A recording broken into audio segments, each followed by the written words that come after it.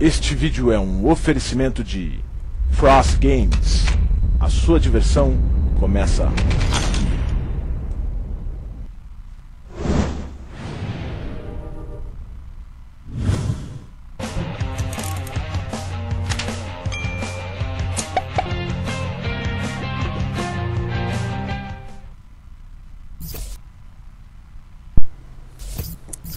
Fala galera, Sam aqui com vocês e bem-vindos de volta no Euro Truck Simulator 2. Estou aqui com o Luiz, fala Luiz. Fala galera, estamos de volta no Euro Truck Simulator 2.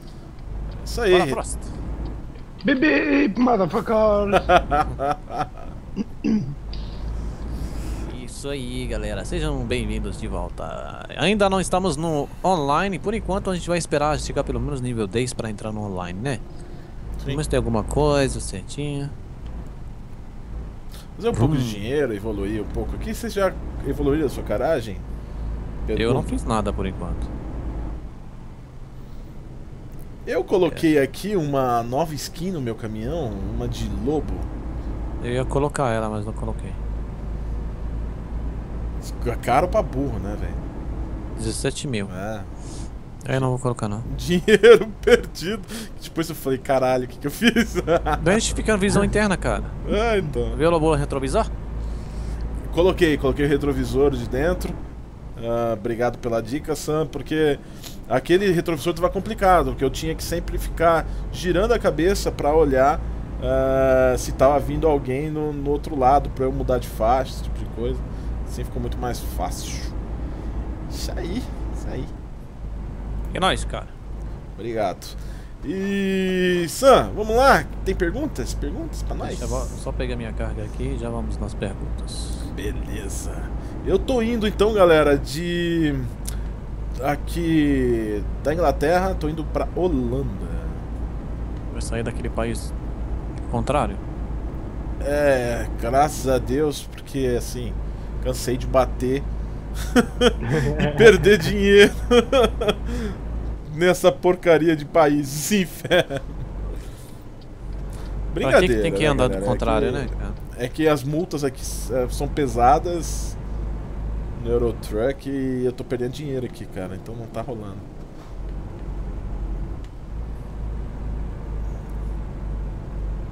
Beleza, temos o Edisley Ramos. Última série, essas, eh, última essa série, porque eu gosto muito de Euro Truck. E depois por causa dessa conversa, espero que vocês continuem.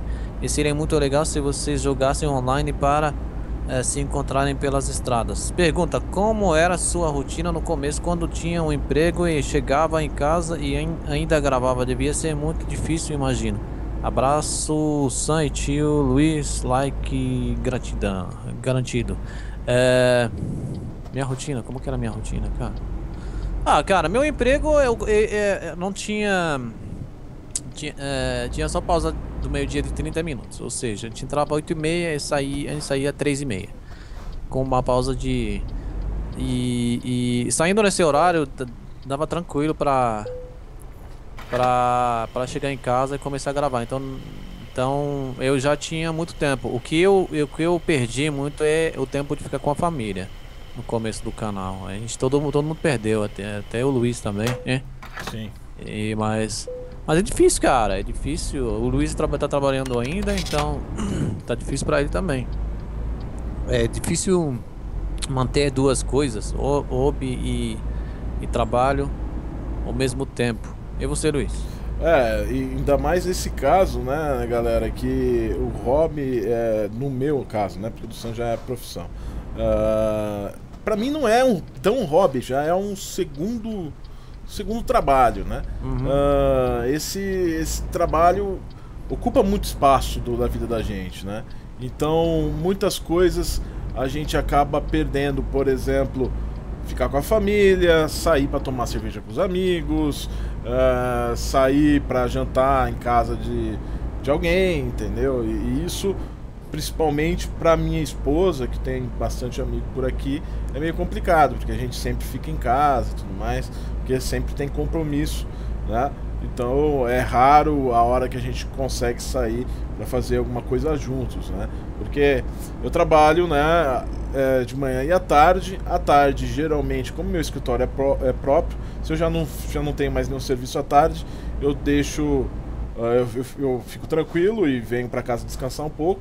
Ou se não, eu. Eu continuo no trabalho, se eu tiver alguma audiência ou coisa desse tipo. E, e, aí à noite vai até 10 horas da noite gravando, às 5 e meia até as, até as 10 horas da noite. Então é bem, bem puxado o ritmo, mas assim, eu gosto, né? Eu gosto. Quanto der para conciliar as duas coisas, a gente vai conciliando. É, é evidente que eu gostaria de poder estar tá, tá vivendo só do YouTube, gostaria. Mas infelizmente a renda do YouTube, a gente aumenta a visualização, a gente consegue aumentar a visualização e o rendimento do YouTube cai. É muito difícil, é muito trabalho, cara. É complicado, cara. É tá muito tá trabalho. Se você acha que. Ah, você conseguiu tantos inscritos e consegue tantas views pra, pra ficar tranquilo, é muito difícil, cara. Eu não tô tranquilo até hoje, cara, porque. Porque o, o a renda não é aquela que vocês estão. Talvez estão achando, né? Que, ah, nossa tá rico. Não, não, não tô não, cara. E a gente se esquecer que a gente investiu muito, muito. E continua investindo, né? É, muito no canal. A gente tá investindo muito no canal. Talvez esse ano vai ser mais tranquilo, que não tem console que vai sair, só vai ser jogo mesmo. Mas só ano passado foi tenso aí, o Xbox One, o, o PS4, a gente investiu ano retrasado na placa de captura. Eu ano passado também coloquei mais um PS3, porque eu não tenho PS3. Xbox 360. Peguei atrasado, mas peguei, cara. Então é bastante gasto. Bastante gasto. É, além do que, né, é, no meu caso ainda vai ter gasto esse ano. Porque eu preciso ainda trocar minha placa de, de vídeo, né? Porque eu troquei o, o processador para AMD para um i7 e agora vai a placa de vídeo também que já está pedindo as contas, né? Então, gastos e mais gastos e mais gastos. É, eu, é igual investir numa loja, cara. Sempre o primeiro, segundo ano, terceiro, sei lá. É difícil, cara. Difícil ter uma. Guardar dinheiro não dá pra guardar dinheiro. Guardar dinheiro não dá pra guardar dinheiro. Só dá pra viver, sim. É... Qual era a pergunta que eles falaram no seu canal, Luiz? Sobre canais lá? É, o João Vitor Favoreto já perguntou também uma coisa parecida com essa, né? Tio Luiz, você e o Sam vive só do YouTube ou os dois trabalham algo mais? Na verdade, a pergunta já foi respondida, tá, João Vitor? Acho que você entendeu. Eu trabalho, eu sou advogado, eu trabalho no meu escritório particular e trabalho com o YouTube também. E o Sam, hoje em dia, ele está vivendo realmente do YouTube. E o Frost trabalha e também tem aí o, o hobby dele no YouTube, não é isso, Frost? Uhum, and I'm sleeping. Tá dormindo por quê? Because I'm tired and tomorrow I will work. Ah. Bitches! Mercedes, esse aqui carro aqui, cara. Qual era a outra pergunta sobre canal, vencimento, sei lá, uh, validade? O Emanuel Jordani tá perguntando o seguinte: uh, vocês acham que hoje em dia os canais do YouTube, principalmente gamers, já começam com um prazo de validade? Hum. Esse aqui eu vou responder para você, fácil de responder, cara. O que acontece com os canais uh, gamers? Que a maioria chega no YouTube e acha que. E acha que vai começar a ganhar dinheiro já, sabe? Aí chega lá, já começa a gravar 3, 4 vídeos, já quer sei lá quantos inscritos, é, é, sei lá quanto ele quer ganhar, já quer network, sem se esforçar. Cara, para ter um lugar aqui, é, é, é, vou ser sincero, não é fácil. Você precisa se esforçar pra caramba, trabalhar pra caramba pra ter o seu lugar. É, é uma luta diária, cara, não é... Eu, por exemplo, eu não saí de casa esse final de ano. Eu não saí de casa, não é? é... Fiquei trabalhando, postando vídeos. O tio Luiz também teve que cortar algumas horas aí é, da vida social para a gente continuar mantendo mantendo o, o ritmo dos canais. A gente esforça pra caramba, sério mesmo, não tô chorando, não tô. A se esforça pra caramba pra trazer conteúdo bom, bom pra vocês, galera. E não é videozinho de 5 minutos, não. É sempre 20, 30, 40 minutos. Vocês viram que tem vídeos às vezes de, de quase uma hora. Então, a gente gasta muito tempo, muito tempo. Imagina fazer todos os dias, sei lá, 10 vídeos de 20, 30 minutos, quanto que a gente gasta por dia. Só na gravação, sem esquecer a, a renderização e o upload, né? Sim. E a galera, não tô, tô fugindo da resposta. Né? E a galera chega achando que vai, ah, vai já entrar, começar a ganhar dinheiro, ei, fácil, é isso aí, cara. Não, não é. Igual qualquer outro, outro meio. Se você abrir uma empresa de. Você faz sites, não vai chegar num dia pro outro vai começar a fazer sites. É difícil entrar no mercado. Eu já trabalhei com sites, eu sei como que é. Eu, eu até cheguei num ponto bom que eu tinha cliente, bastante clientes, mas um, um meio cansativo. É difícil, difícil crescer nesse, em qualquer coisa, cara, qualquer coisa na vida. Você não chega e acha que vai é, chegar e já começar a ganhar dinheiro. Só isso aí só quando tá lá. Por exemplo, é, pra, pra conseguir dinheiro para trabalhar no supermercado, você vai ter que fazer entrevista, fazer tal, fazer as coisas, mostrar que você merece para você começar a ganhar seu dinheiro. Verdade ou, ou, ou errado? Não, verdade. Tá. É a mesma coisa no YouTube. Tu chega, tu tem que fazer sua entrevista com seus inscritos. Fazer entrevista, mostrar que você vale a pena e a galera vai começar a acompanhar. E depois a network, você vai mostrar para a network que você vale a pena e vou te contratar. Vou te contratar não, vou te dar uma parceria. Você vai começar a ganhar dinheiro. E assim vai, cara, é a vida. E a galera chega querendo tudo na hora, ah, tudo rápido, ah, ah, é a, geração do Twitter, né, cara? A geração do geração da da DSL, da, da conexão rápida, que é tudo rápido, tudo, tudo, tudo. É difícil, velho.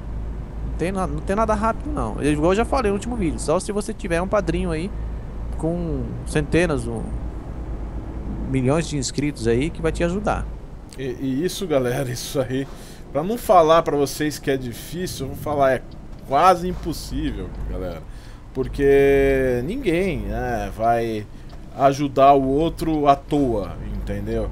A pessoa sempre está querendo alguma coisa em troca, né? Ou o cara realmente é amigo, ou é primo, ou alguma coisa do tipo, ou ele não vai te ajudar, entendeu? Por mais legal que você seja, por mais que você seja um cara bacana, faça um bom conteúdo, e até ele curta o seu conteúdo, ele não vai te ajudar. Não. Porque não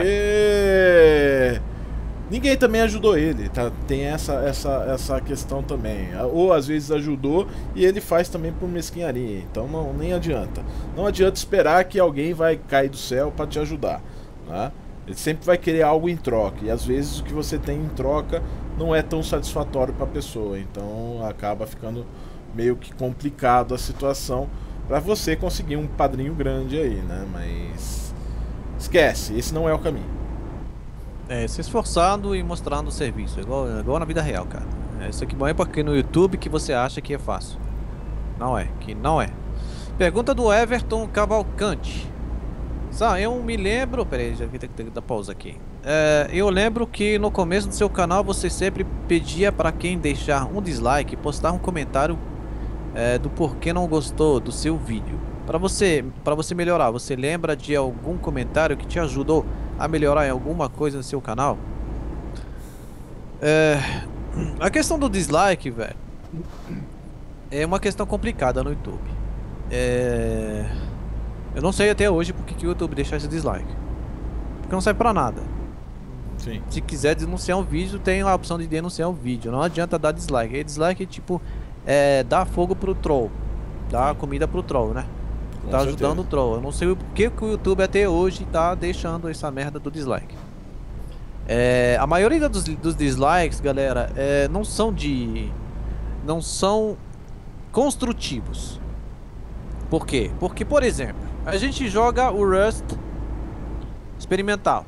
A galera que gosta do Rust Legacy não gosta quando a gente joga o Rust experimental. Fica dando dislike no vídeo do Rust experimental. Pra quê? Que vai servir pra alguma coisa? Vai mudar minha opinião? Vou mudar amanhã porque você tá dando dislike no vídeo do Rust experimental, vou mudar pro Rust Legacy? Não, não vai mudar, não vou mudar. Porque, já falei, jogo o que eu gosto. Se eu não gostar do jogo, eu vou falar, eu não gosto.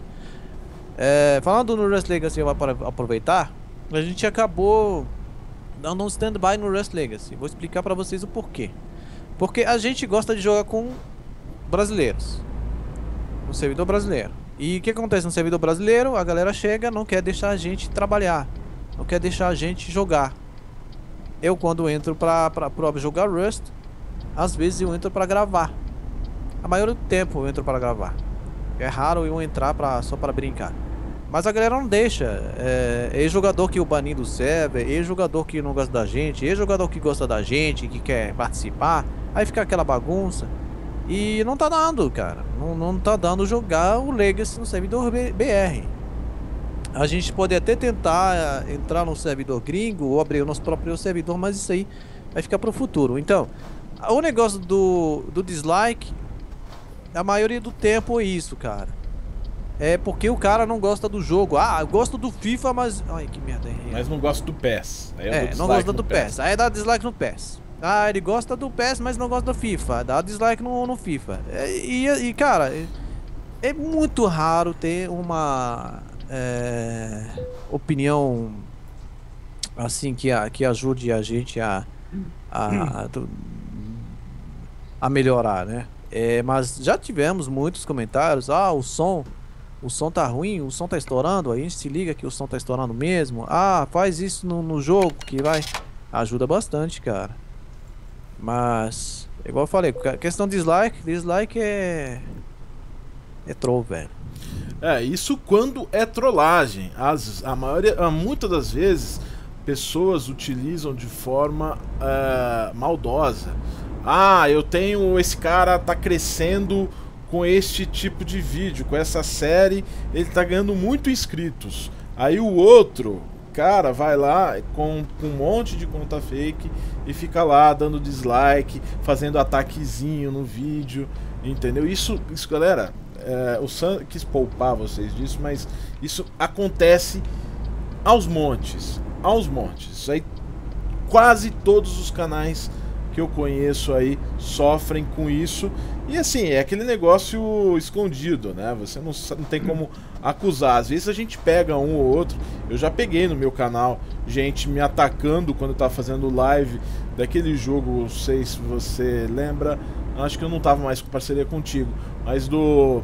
Quando saiu o jogo do PS4, uh, o Infamous Second Son, hum. uh, eu tive minhas lives atacadas por um cara que que se fingia que entrava em contato comigo e falava que era meu fã, entendeu? Eu não vou falar o nome dele, ele depois ele até pediu desculpa porque eu descobri, né? E ele era parceiro inclusive da Cross Games, que, que era uma empresa, que é a empresa que a gente patrocina. Inclusive depois disso a Cross Games inclusive parou com o contrato com eles, né? Excluiu em razão da, da má fé do, do cara, porque prejudica inclusive o nosso acordo aqui com a Cross Games. Então isso acontece demais.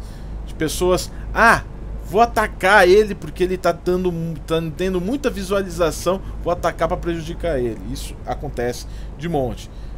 O Twitter, o Twitter não, o Twitch tem essa coisa boa que não tem isso. Não gostou, cara? Simples, fecha e vai e vai procurar outra coisa, né? Agora, infelizmente, o YouTube ainda tá nessa, né? É, o YouTube tem que tirar isso, cara. Eles, não sei por que eles deixam. Nah, this is what I want to say. If You don't like the video, just close the video. Because behind the, the screen there is someone is working. And like serious Sam, he's working too much, making too much video. You ask him for a game, he do it. You ask him for a gameplay, he do it. So don't come and push the dislike button. It's just stupid. You don't like it, just close. Concordo plenamente com, com o que o uh, Frost falou, que pessoal que não entende inglês, só resumindo, o Frost disse que, bom, se você não gosta do vídeo, cara, fecha o vídeo, simplesmente isso. Porque atrás da tela sempre tem uma pessoa que está trabalhando muito, né? Trazendo sempre o conteúdo que o pessoal pede e tudo mais, que nem o Sam, né? E, e, e, sofre esse tipo de ataque, não é legal mesmo, não é, não é bacana. É, só que a galera não responde, velho. Tu fala, ah, galera, se você não gostou, me fala por quê, cara. Eu, eu, eu, preciso saber por quê. Ajuda aí, pelo menos ajuda. Não gostou? Me fala por quê. Não, mas não tem, não tem. O cara não fala por quê. O cara chega e fala assim, ah, eu dei primeiro dislike. Por que você deu dislike? Ele não responde, velho. Eu vou lá no comentário e falo, por que, que você deu dislike? Me explica. Não, não tem. É raiva do mundo, é, é sei lá, cara. Porque você é burro. Ah, legal, mas eu sou burro e beleza, e aí? o que que, o que que fez que te irritou tanto? tem, tem sempre isso, né? Gumik BR. Aí, Sam, foda o vídeo. É, pergunta, você pretende trazer Dying Light quando lançar? Sim, pretendo trazer sim. Eu vou jogar em co-op com o tio Luiz e talvez o Frost junto também der a conexão, né? Se der certo a conexão, a gente vai jogar porque tem acho que quatro no co-op, né? Aí a gente vai trazer aí para vocês o Dying Light quando lançar. Hum, pergunta, qual... Esse aí gostei, galera. Ó, vocês podem fazer assim, ó, pergunta dois pontos. É a sua pergunta. Aí já sabe que não é, que é uma pergunta destinada para o vídeo, beleza? Qual placa de vídeo mais barata roda o GTA V de PC e Uh, exactly está the same question a ser lançado. Que está a ser lançado. É, tem essa pergunta aqui no meu canal também. É o Ai, Arthur velho. Bennett. É Foi esse? o. É, Arthur Bennett. É, perguntou aqui no meu canal também. O que será, cara? Eu não vi qual, qual, qual a placa que eu. Deixa eu ver aqui. Vou pesquisar agora mesmo, galera. Calma aí. Grand Theft Auto. Deve estar na lista do do... Mas já falaram o... As configurações, cara, não... pior que eu não tô sabendo, mano. Será que ele vai aparecer? Grand Theft Auto 5 Aqui na Steam, vamos ver Aqui, Early 2015 Vamos pausar o vídeo deles aqui para não dar barulho. É, galera, aqui não tá falando qual placa de vídeo que precisa, velho.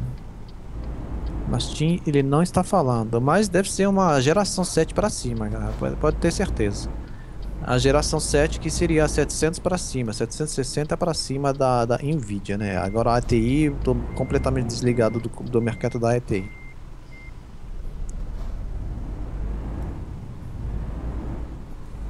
Sabe, por que você não faz uma despedida com os inscritos de Brasília? Seria bem legal. Abraços. Cara, vou pensar nisso, cara. Aqui tá meio bagunçado o negócio aqui pra... Tá meio... Não, não tem na, nada por enquanto, assim, cer certeza, certeza que dia que eu vou viajar, essas coisas aí. Assim que eu tiver alguma coisa aí, eu aviso vocês, beleza?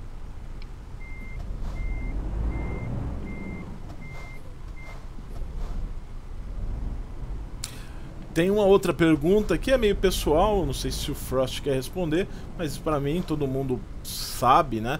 O Kumilk, Kumilk, é isso? Kumik, BR. Uma pergunta, se o tio Luiz e o Frost têm esposa ou namorada? É isso aí, o tio Luiz tem, namo tem namorada, não, tem esposa, né? E, e o Frost tem? Não tem? Quer uhum. responder? Yes, yes, I have. I have... Uh... Não é esposa, namorada. Namorada. É isso aí. Ó, uma pergunta. É uma pergunta para São Frost e Luiz. Quais times vocês torcem no Brasil e no mundo? O meu eu não tenho time no Brasil, cara, mas eu vou ter que torcer pro, pro, pro Havaí que eu vou morar perto, né, cara? Sofredor, né, velho? Tadinho. Ah, mas não é só time. time. Só pra torcer mesmo no Brasil aqui. Eu não tenho time aqui no Brasil, velho. Mas lá fora é, eu gostava do Chelsea. Chelsea. E você, Luiz? Eu sou São Paulino, galera. Eu sou São Paulino desde criancinha. Olha. Tem mais alguma pergunta aqui? Só que é isso, né, galera? Não vamos também dar rage só porque a gente torce pra um time ou outro.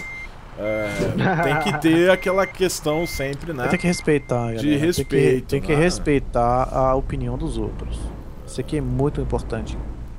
Tem que respeitar a opinião dos outros. Porque não é porque, ah, fulano gosta do, da- dessa coisa, eu não gosto, ah, eu, eu, eu vou, eu vou xingar, eu vou. Cada um seu gosto, igual você acha, se acha o fodão gostando da sua coisa, outra pessoa você acha você lixo. Igual você acha essa pessoa lixo, é outra pessoa você acha você lixo. Então, se a gente ficar nessa mentalidade, de, ah, eu acho tal fulano ciclano lixo, quem faz isso faz isso aquilo, enquanto não tiver prejudicando ninguém, não é, ah, é o, alguém agora, alguém que gosta do Hitler, pode chamar ele de lixo. Tá, ok? Esse aqui aí concordo com você. Ah, alguém que apoia terrorismo, é, pode chamar de lixo, lixo mesmo. Mas para time de futebol, para jogo, para console, não precisa dessa. dessa Fixação, é, né, cara? Nossa senhora. E, e- e uma coisa que é importante, né, galera? Futebol só existe porque existem times.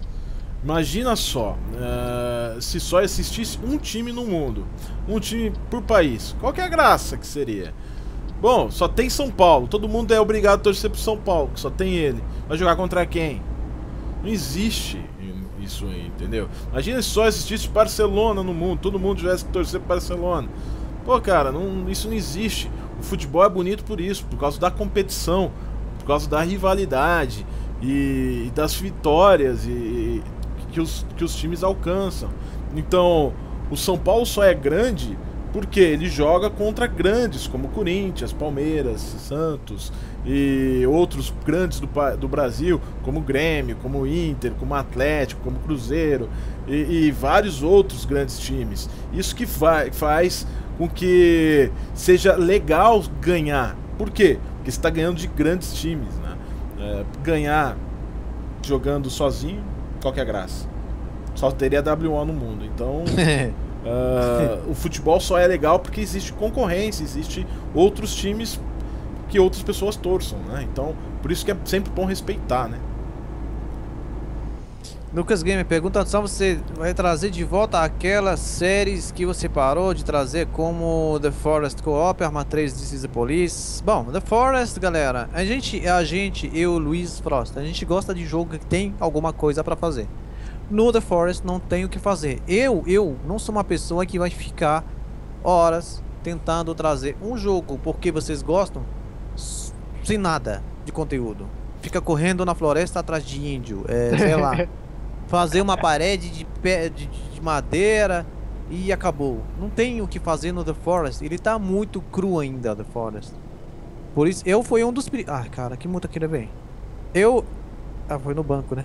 Eu, eu fui o primeiro a trazer o The Forest pro Brasil. Enquanto dava pra jogar, dava pra fazer alguma coisa, tava lá no canal. Quando não tem mais nada pra fazer, a gente não tem o que fazer, galera. Infelizmente não tem o que fazer. Eu não gosto de ficar. É... Como que chama a palavra? É... Enganando, tipo enganando vocês. Ah, o jogo é foda. Não é foda. é- O jogo é bom.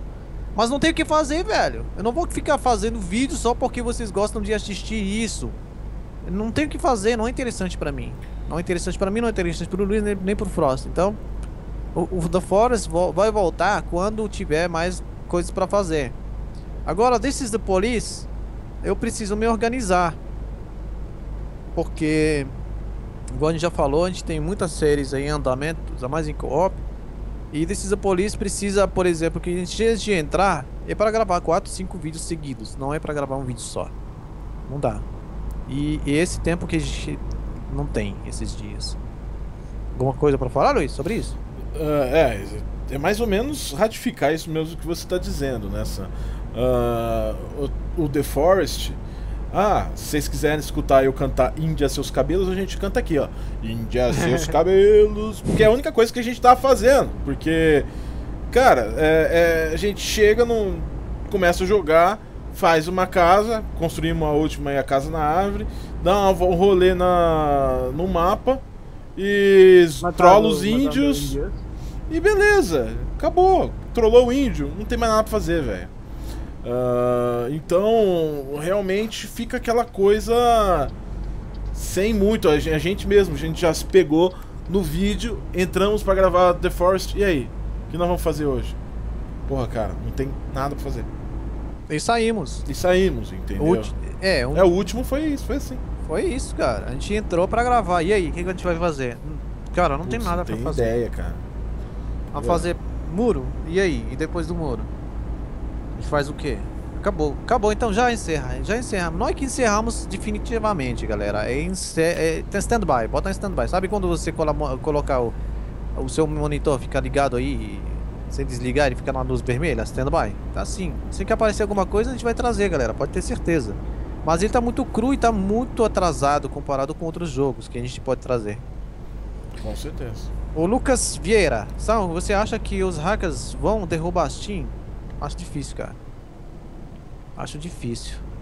Por que, que até hoje não atacaram a Steam? Acho que atacaram sim e não conseguiram derrubar. E agora aqueles Lizard Squad já estão, a maioria tá atrás das grades, cara. Lizard Squad dos moleques, cara. Tô, tô dizendo que, ah, moleque que tem 15 anos, 14 anos é ruim. Não.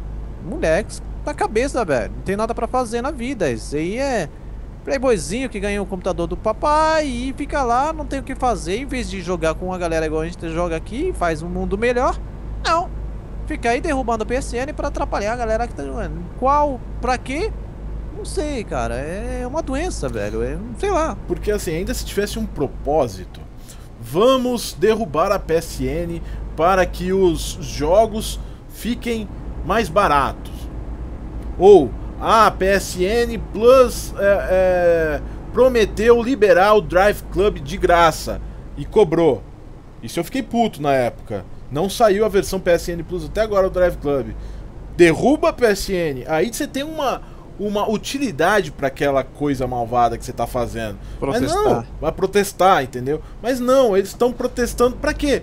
Ah, porque é legal. Ah, Só só, pelo mesmo. só pelo LOL. Ah, velho, só pelo só pela zoeira? Pelo amor, É. né, cara? Se você for fazer alguma coisa útil, você quer protestar porque o preço do jogo é abusivo e não sei o que, proteste, legal, derrube mesmo. Eu não vou ficar bravo de ficar três dias sem PSN. Mas, só pelo, pela zoeira, vou te falar, hein? São os cagões, hein? Dark Legends Games. Sam, qual o programa que você usa para gravar eh, seus vídeos e qual você usa para editá-los? A gente grava com PlayClow e editamos com Sony Vegas. O Frost acho que grava com aquele Mirilis. Mirilis o quê? Action. Action. É isso aí. Frost já grava com outro software. Que eu não testei esse Mirilis, mas tô acostumado com PlayClow, tá de boa com PlayClow, então. Ele faz um trabalho bom, né? Separa as pistas de áudio, separa tudo.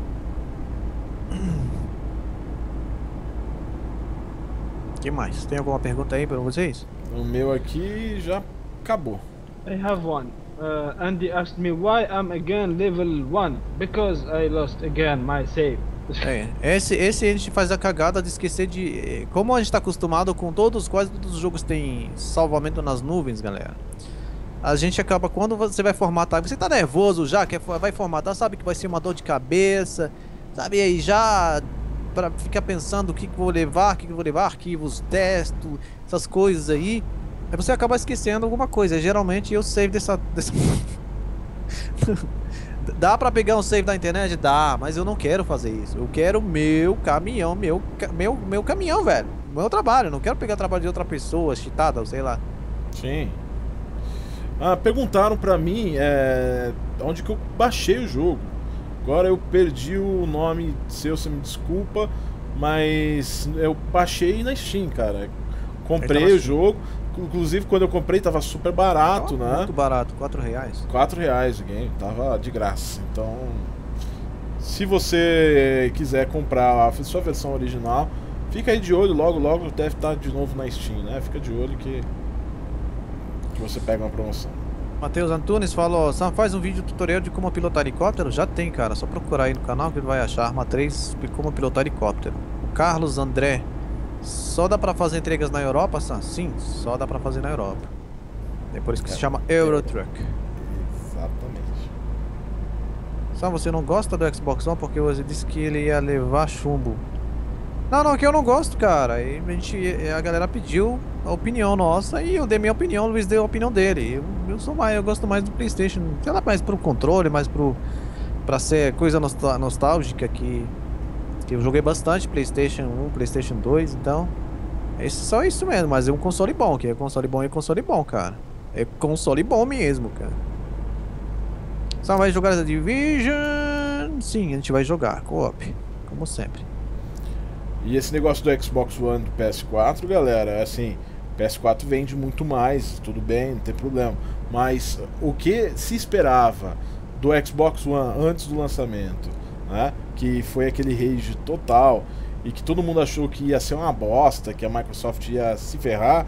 Cara, o console é muito melhor do que aquilo que, que foi anunciado. O console é bom, é pau a pau com o PS4. Tá? Então, se você comprou o seu Xbox One e se falar, ah, eu queria ter o meu PS4, não fique triste, cara. Você tem um bom console.